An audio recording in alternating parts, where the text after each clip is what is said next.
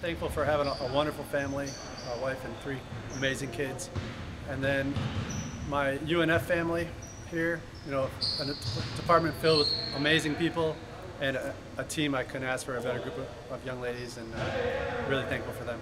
Richard Miller, voice of the Ospreys, and I'm thankful for my wife Peggy and my parents and everybody that's supportive of my career, but uh, just family and friends.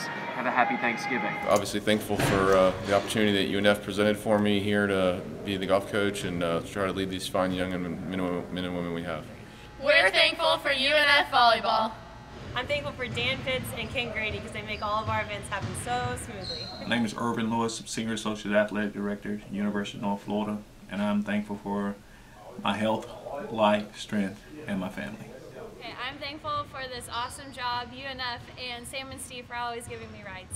Nancy Miller, assistant women's basketball coach, and I am thankful for family, friends, my health, and our basketball team. Mary Tappmeyer, women's basketball coach, and I am thankful for my staff, my team, and my family. I'm thankful for the God's blessings that He's given me to not only be here at the University of North Florida, but for the, my family to have an impact in this community. And I'm very thankful that He's given us this journey and allowed us to be here. My name is Lee Moon. I'm Director of Athletics at the University of North Florida, and I'm thankful to have Jesus Christ as my Lord and Savior.